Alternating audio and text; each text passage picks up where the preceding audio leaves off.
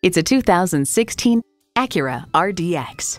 It provides the comfort and luxury of a large SUV with the moves and fuel economy of a small one. It comes nicely equipped with features you'll love.